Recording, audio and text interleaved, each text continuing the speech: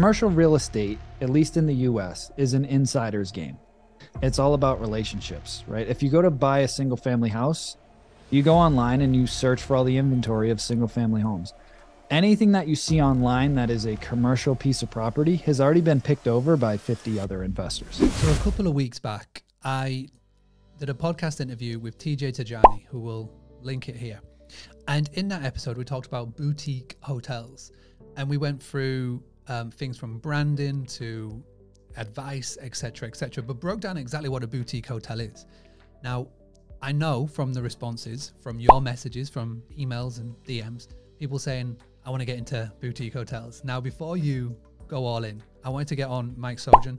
Uh, Mike is somebody that I've known for about two years now. We met in the clubhouse days. And one thing that Mike has done is he's just always growing and always expanding. And he's just purchased a 57 uh, bed hotel, boutique hotel um, in Salem, Massachusetts. And this is number three. He talks about the things that he wished he knew before getting started. He talks about the tech stack. He talks about the uh, what he's implemented, about again what he wished that he had knew, and how he's going to market this. If you're just getting started in boutique hotels, and I know from following a lot of you on Instagram that you currently are, or if you're looking to get into it and you want to know potential pitfalls, this is one for you. Um, Mike also drops the link to his Instagram. He gives a sneak peek on what his, the handle's going to be changing to. And also, as well, make sure you stick to uh, the end. I'm not going to tell you exactly when, but make sure you stick to the end because you get a special link for a dealer Analyzer which will help you before investing into um, potential boutique hotels. This is one of those do not misses. So get the pen out, get the paper out. Um, try and figure out what my key takeaway from all of this was, and you'll get that about three quarters of the way in, and leave that comment below. Um, really excited for this. Let me flip straight in. Let's go with Mr. Mike Sjogren, uh, the boutique hotel guy.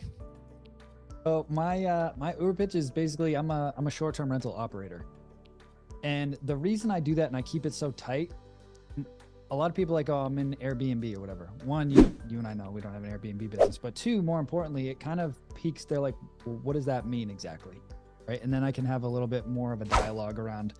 You know, we operate short-term rentals, so like we're little hotels, vacation rentals is what most people are non STR people are used to calling it. So I just throw out, I'm in short term rentals, and a lot of times it just sparks conversation because they don't even know what the hell that means.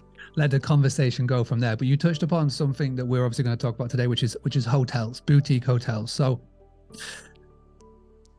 like where I grew up, the family business, we were a small hotel. Um, and you know, I, I love how this industry is sort of taking an eye at it, looking at it, um, and sort of going down the route of going from short-term rentals to to hotels or boutique hotels and putting in this this method of what we've built to be structures and systems in, into short-term rentals into hotels. So can you just talk to how you personally went to venture down this route? What's the story behind it? What sort of caught your eye with it, and and how did you get into? Actually, somebody brought it to me. So my one of my business partners, somebody I was co-hosting for, he owns a real estate brokerage, and he actually brought the first one to me, and he was like, "Hey man, you know you've been doing great with the single family stuff.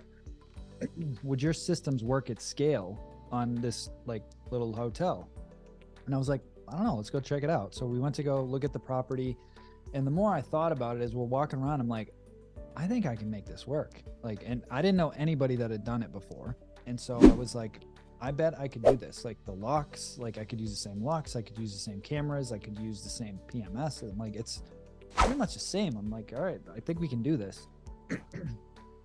um, I drastically under underestimate how much it was going to cost to do it, but um, either way, it, it, worked out, and I'm happy to talk numbers as we get into it. But um, yeah, it kind of just came up through a referral. Commercial real estate, at least in the U.S., is an insider's game. It's all about relationships, right? If you go to buy a single family house, you go online and you search for all the inventory of single family homes anything that you see online that is a commercial piece of property has already been picked over by 50 other investors because when somebody goes to sell that property, they call up their broker, and that broker goes through their phone of the last 30 people that they've sold deals to, and they're like, "Hey, would you want this? Would you want this? Would you want this?" And if they all say no, then it ends up online. Yeah. And it doesn't mean it's a bad deal. This deal was online. but the person that sold it was motivated enough after a while that they needed to let it go for substantially less than they were asking for it online. Mm. Did you, with this particular one, did you find out the story about why people turned it down? As in, the, did they think that they were going to buy it as a, a hotel, etc., or did they just not go for it? And you came into it with a different mindset to say, "Hey, I can do this to this place." Is this how you got it over the line, or is there like something else to it? I'm not really sure, to be honest with you. Around like, I, I think the other thing is it's kind of, I don't want to say it's remote, but it's a good hour outside of Boston, so it's not near like a major hub. Yep. Um, but the location was it's oceanfront. It's on the beach. Like the real estate itself is prime. And the gentleman was just he was just asking a lot. He was asking 3 million for this property. And the location was great, but the property itself was really rough. Like it mm. needed a lot of work. Um, and so, you know, we went in, our initial offer on it was 1.7. And my wife, Kristen, like looked at me in the eye. She goes, Are you seriously going to offer that? Like she was embarrassed. And I was like, 100%. Like the worst they can say is no and uh, we ended up closing it. You know, we went back and forth. We closed it at 2.25. So by us offering it 1.7, it saved us, you know, eight hundred thousand dollars off of their asking price just because we went in low and they needed to sell it. Um, this is something that's happening a lot in the UK.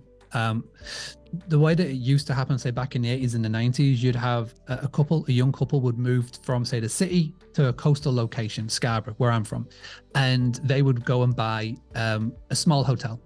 They would change their careers and etc. And and the, and the sort of the way that the sort of the mindset worked back in the 80s and the 90s is that they'd start with a small hotel, they'd work their way up, and then they would sell that small hotel and then purchase a bigger one in the town. And the problem is, is that that happened 80s and the 90s, no problem. And then what happened was that the it changed as in they would normally pass it down to their kids and their kids would run it but the what would happen because hospitality was so full on and like kids were able to sort of the world was expanded in the early noughties and you know early decade of 2010 and so people kids were like growing up and saying i don't want to work 24 7 in hospitality. I want to go travel etc and so these these these deals and these hotels that they were buying they would be kept hold on to and they'd get kept hold onto and they wouldn't sell. And then it just became came to a point where they just wanted to get out. And so many people in the sort of the back end of last decade start of this decade are now going in and using the systems and the structures that they learned from service accommodation short-term rental accommodation whatever you want to call it and plugging it into hotels and bed and breakfast because the model's there. And you know the, the properties are there they're all on site and they just have to you know they're very tired, like with your purchase, very tired. You know that you can do a lot of work to it and it will be able to turn it into a, a boutique hotel. Um, and it sounds like this is happening a lot in the States at the moment as well, which is really clear. So when you were looking around and you were thinking, I could do this, what were you particularly knowing to believe that you could do to the property that would just make it make it work? Like what were you looking to plug in from what you've learned from short-term rentals? Well, I knew I could run it at I knew I could run it more efficiently from an expense side. Like I knew I could get the expenses down because they, they were just super high and they had a lot of staff and just a whole bunch of stuff that was completely unnecessary. Um, and I was also very confident that I could get the revenue way up because this gentleman was getting 160 to 180 a night, like on the beach. Like, and again, it's all context of where you're located, but I'm like, I bet we could double that, like easy if we do it right.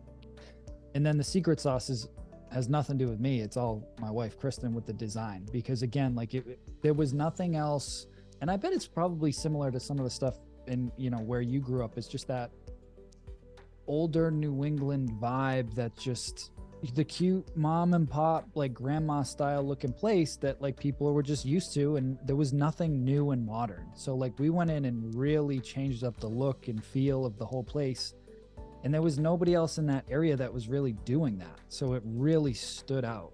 Yeah. Um, that that was the key. Yeah. I love that. Because you're so true. I can think about my parents place.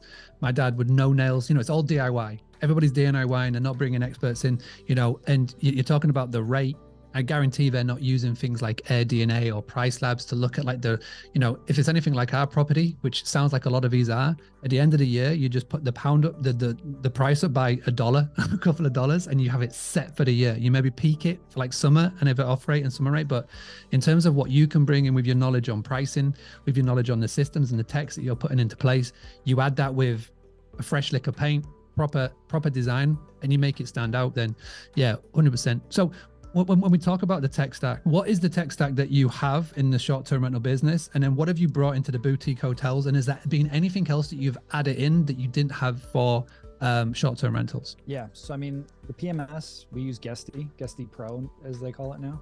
Yep. Um, just because they have a ton of integrations, we use them. We use Lynx for all of our lock automations. We use that with the Yale Assure locks. Uh, we use NoiseAware, which again integrates with Guesty. We use the Ring cameras um, Price Labs. And I think the, the thing that changed, and you and I were talking about this offline, that I did not expect was just the volume of phone calls that you get with hotels. You know, as, as short term rentals, at least here in the US, you really very rarely get phone calls unless something is bad. Like unless something's bad, if you if your phone's ringing, it's usually something real bad. With hotels, you know, we're getting anywhere from four to six hundred phone calls a month inbound per hotel that's a lot of phone calls.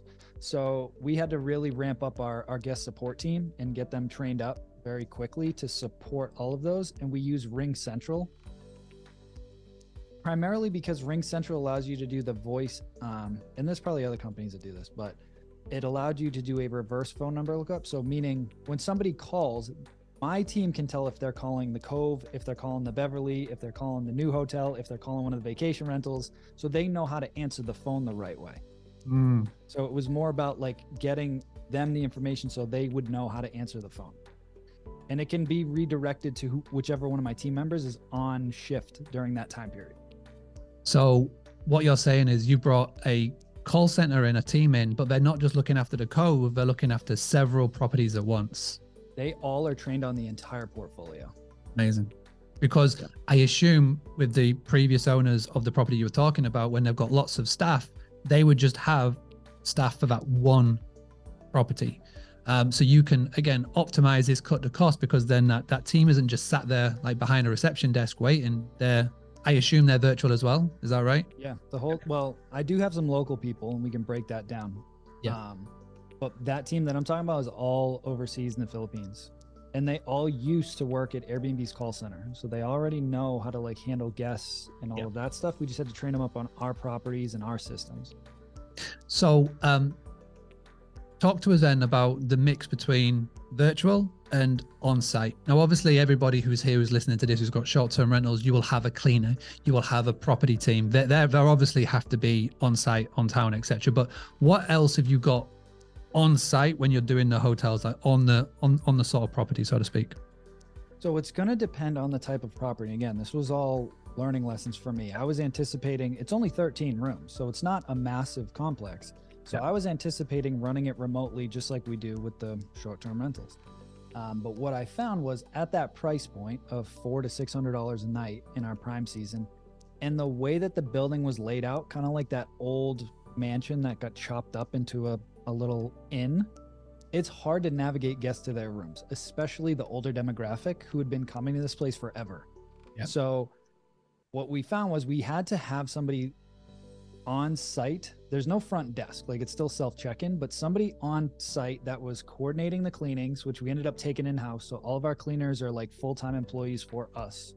So, Yep. they're managing that team and then they're handling any guest, uh, guest issues and coordinating any maintenance but they're in an office that like isn't even guest facing. They're just on property that can float around. They can manage the inventory. They can manage the merchandise. They can coordinate the parking lot kids. We have a, a bar now. We didn't have that at the beginning, but we got our liquor license, so we have a seasonal bar on the deck. Nice. Um, so that that first one has a bunch of staff, but we have the revenue to support it. Right. The second one that we did, that was a 21 unit. It's more like your apart hotel Yeah. Right? Where it's like two, three floors, seven rooms a floor, and it's easy to get to. Like you pull up and it's like, all right, you go to room 201, right? It's very easy to run that one without staff. We brought in an in house cleaning team recently for that property as well, but we don't have anybody that's there like during the day. Yeah. We'll float. We've got a local person that floats around the whole portfolio, but nobody's like manning a desk over there. So, um, next question is laundry. Now, obviously, you've got cleaning on site. Are you doing laundry on site, or how does that work? Yeah, I've tr- I've and again, it could be different in different markets, but I did not have good luck outsourcing the linens. I found that stuff would come back stained. I found that stuff would go missing. It was just it was a pain in the butt. So, the first thing that I look for now, like on the deal that we just closed, the first thing I looked for was what does their laundry site look like downstairs? And this place has, you know, four commercial washers and dryers that are as big as my office, you know, Yeah. like because you need that at scale. And it makes a huge difference and it sa- helps your team out so much. Uh, we've got somebody in the UK that we both know, a mutual connection, purchased well not purchased but started to do uh, rent to rent management in a in a big block of apartments and the main reason why they went for it was uh, in the ground floor there was a, a laundry facilities and uh, started to use that for the, the properties that are in there but because they were walking in and out of the building so much um, with laundry bags that were branded they had other hosts came to them and were like oh you do laundry can you do our laundry which is is really interesting. You know, um, I, I'm a big fan of watching Codie Sanchez and what she talks about about boring businesses and whatnot. And laundry is something that, again, you look at extra revenue streams by having in-house laundry. Um, you never know what can potentially come around. You might have some host knocking on your door, especially at the new property, saying, "Hey, can you also do ours?" Let's quickly talk about the new property, the the the the the, uh, the place that you purchased. So, this is new. Uh, if you head over to, to Mike's Instagram, and we'll link all the Instagram up. There's a real uh, just literally posted very recently talking about it. Can you just give a bit of a breakdown on, you know, you, you've got experience with the Cove, the Beverly, and now this. Like, what stood out about this? Why have you gone for this? And and like, what's uh, what can you sort of talk about in terms of what's to come? So I know this area very well. Um, and my two business partners grew up in this city and they live in this city. So, like, we knew the location was phenomenal. Like, for context, like my little two bedroom STRs in this community will do over a hundred thousand a year. Like, it just rips.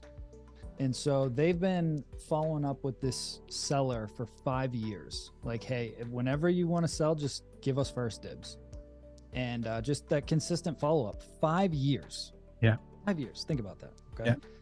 And um, eventually she had some personal reasons that she needed to sell. And um, we got our we got first dibs on it. And so I was actually in Florida with uh, with one of my mastermind members looking at some property down there when my partner called me and he's like, "Hey, I think we can put this thing under contract." And I told Kristen, I said, "Sorry, we can't buy this really cool house. We're gonna go buy another hotel." And she was excited and annoyed because the house we were looking at down there was pretty awesome. But um, so it's our biggest one yet. It's 57 units. It's a big, big property. Uh, it's on almost four acres, which again, depending where you're from, is a lot or a little. Around here, that's a lot. Um, it's one of the biggest lot sizes left in this city, um, which is Salem, Massachusetts. Just for context, if anybody's familiar with the area, very, very um, deep history. You know, one of the earliest places to get settled back in the 1600s, and then obviously the witch trials happened, which they're probably most famous for. Um, really, really cool city. And um, again, the place needs a bunch of work, but knowing the numbers and just analyzing the deal, it has a, a massive amount of upside. So it's uh, it's definitely our largest property, our by far our largest investment. Um, but I'm very, very confident that uh, we're going to turn it around. Exciting, no? Exciting. is a sign of progression, which is which is epic. So let's talk about filling these places. Like it's talking about, you know, um, 21s, 57, like lots of lots of rooms, lots of heads on beds. When it comes to marketing, what have you found different, or what have you um, done differently when it comes to marketing compared to a, a short-term rental? Like how does it work differently for these boutique boutique, boutique hotels?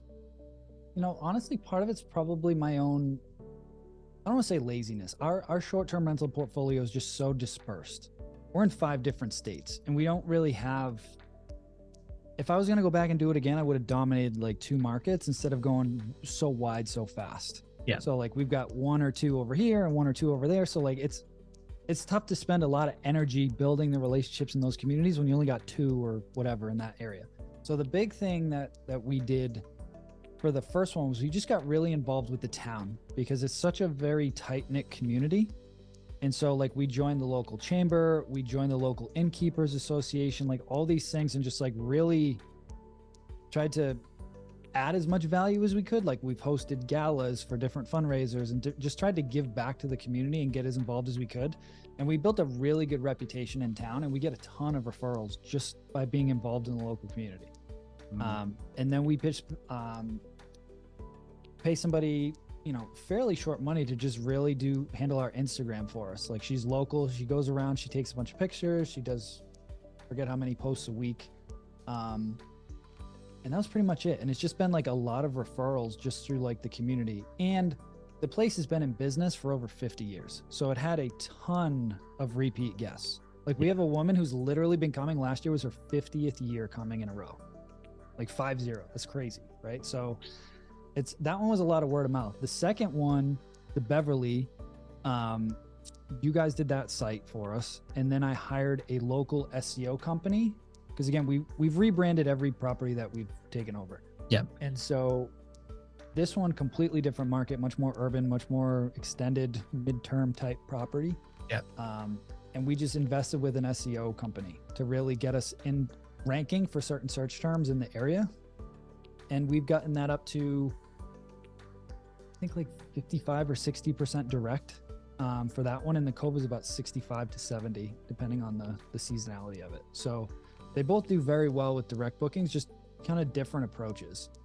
Um, this is the one thing about when you rebrand something you buy because obviously there's a ton of ex- existing seo already done and that's not to mention like google business listings etc so yeah that that is definitely something that i picked up was when you do the rebranding it would definitely help to find somebody that is very solid on seo because they're going to have a lot of work to do. It's like needles in a haystack when it comes to when it when it comes to google but that's that that is really good. And the um the thing that i'm my picking business is huge. Not to interrupt you, but like that that alone and again i'm i'm much more the operator brain not as much the marketer brain but the the google my business reviews that is crucial because when somebody's going to travel somewhere they immediately go to google and they go hotels in salem. And then it shows them all the hotels and how many stars so think of that like your airbnb review score so you want to dominate on Google for reviews. So I'm never asking my guests at the hotels for reviews on Airbnb. I'm asking them to review us on Google. Yeah. Every time. And just Yeah. fill those Google reviews. Just fill it up. No, 100%. And anybody who's in short term rentals thinking, oh, let me tap into Google uh, business listings, you got to hold fire because they're changing everybody over. Go- hotels are great because they've got a check in or a self check in as such. So uh, when you've got a hotel, you can get away with Google business listing because that's what it's there for. But for short term rentals, it's moving over to Google vacation rental. I see so many people at the moment talking about Google business listing, but they're just not getting verified. The, the other thing that I pick up is relationships um it's the key to acquiring the property. Obviously five five years of hard work and it's the key to filling these properties is by the relationships that you can build. But that goes for like short-term rentals and and hotels. What's the plan with the the clipper? Is it going to be obviously you're going to rebrand it and all those cool things. Is, is are you going to basically go down the same route of seo build relationships and just tap into anybody that's previously stayed? Is there anything else that you're sort of thinking at the present moment in time Doing more with like press releases for sure. Um, and more like PR, especially with like the deep roots that we have in that community with my partners and everything else. So we're uh, October is obviously our, our biggest month because of Halloween there. Yeah. And the goal is it's basically this project is in two phases. So phase one should open by June, phase two, ideally by September. And so we're just kind of debating do we do, we basically want to throw a huge banger of a party for like the the whole town. And just everybody come and check it out. We'll do room tours and everything else get a beer truck all sorts of good stuff. And we're just debating whether we do that after the first piece is open or just hold off till the whole shebang is done and then do it right before halloween. Um so getting more involved with that. And then anytime you're going to do a, a project like this or even a short-term rental I'm always analyzing my competition and asking myself, how can I do this better? Or how can I offer a better product? I can't compete on location. There's other properties that are like right in the heart of downtown. But I'm like, what can I do better? One, we've got parking and we've got a ton of outdoor space. So like we're just we've got a bunch of ideas that we're throwing against the wall around like how can we maximize this outdoor space and make this really cool? And then leveraging a lot of Kristen's experience with the theme stuff that we've done near Disney World. We're Yeah. gonna do like eight really cool themed rooms. Like really cool. Like trees coming out of the wall, haunted forest, glow in the dark type stuff that like nobody does that around here. Yeah. And um I, I'm I'm super pumped for it. Like I can't wait to see it. So So uh like I'm it's screaming to me like weddings, like events, you've got 57 places. Yeah. Oh, it's amazing. And this is the cool thing about what happens when you can get so many things, uh, units, doors, beds, whatever you want to call it, on like a in, in a very cl- close proximity on the same land. It just makes things like that are things that you can do. And it's like that's literally our farm. Every year we would put on at least four or five big events. We had a farm fest. We had all those things, weddings, because it was all uh, able to do, which is so cool. So very exciting. Um, okay, so there's going to be a lot of people. Last time I did a, a topic on boutique hotels, I had a lot of people message me saying, and now I want to get into boutique hotels. So obviously there's a big thing here. Obviously you've got people in your mastermind, in your training, in your Facebook groups, in your podcast community who are probably probably coming to you and talking about the same thing.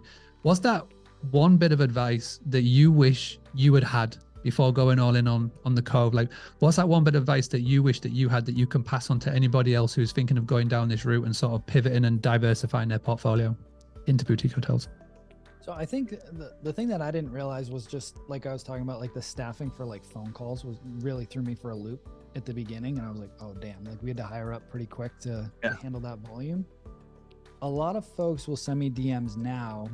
I didn't do my first hotel till I had 15 units in five different states. So I was pretty seasoned on the short term rental front. Yeah. Um, I'm not saying that you can't do it without, I'm not saying that you can't jump right into it, but if you're going to do that, do it with a partner or get educated with a mentor. Like, don't jump in blind. And I don't say that to plug me or any other educator. I'm saying that because it's just financially dangerous. Like, you can lose a lot of money. Um, and I've just seen people drastically underestimate. Like for context, just the renovations on this project are four and a half million dollars. Right, that, that's a big budget to manage. Yeah, you know what I mean. And like that's just the renovation. That's not even the purchase. And we're already running into a couple issues that are going to swing that up to three hundred thousand more. So like it, you just need to know how to like estimate costs and plan for certain contingencies. So I'd encourage you to partner with people that have experience. Like my two partners have a lot of development experience. So I bring the operational expertise, they bring the renovation expertise. Mm. So just think about that before you jump into some of these bigger things because you can make a lot of money doing this and you can lose a lot of money doing this. So bigger stakes, bigger gambles, bigger rewards. Well, yeah, definitely comes back to relationships, partnerships. So know know your numbers as, uh, as somebody I know who might say that. know your numbers, do you? So, um, one thing I do want to say, um, how is the best place? I know you've got a really good deal analysis sheet. Um, how can people get get hold of that? Where's the best place to go for that? Where where do they contact you for that? Because that is one of the best that I've ever seen. Yeah, they can go to STR Secrets dot com slash resources. So you can grab my deal analyzer, a bunch of training on how to use AirDNA, how to use STR Insights, a whole bunch of stuff that's just going to at least give you a good foundation so that you get in. I just don't want to see anybody get into a bad deal, right? Like that, because if you do that, it's just really hard to fix that. Mm. Um, so just yeah, strsecrets.com slash resources, a bunch of good trainings and my deal analyzers in there as well. And uh, for the Instagram to see the reels and the and the progression of the, the latest property, where's the best place to go for that? What's the handle? Yeah, it's uh, at the Airbnb guy, which I am changing in the near future. There you go. Uh, to just my name. There you go. Nice. Brilliant. Well, hey, thank you very much. And there's so much more going on uh, in, in the world of Mike, uh, events, masterminds, and all that cool stuff. But if you go check out the Instagram, you'll be able to find out so much more. Uh, really appreciate this, buddy and uh, I shall see you very very soon in uh, in Nashville for a, for a, a, little event I hear that you're putting on. I can't wait, man. I'm I'm excited. I am very very excited. So yeah. Brilliant. All right. Thank you very much for this. And everybody, thanks for checking in. Go check out those links. They'll be in the show notes and all the cool places that you normally find it. And we'll be back very soon for another episode in just a couple of days' time. Thank you. Having a blast, gonna get it on the Boostly podcast. Boostly like Bruce Lee, cause it's so hard and the T is loose leaf. Making up those rhymes, don't write it, just do it loosely.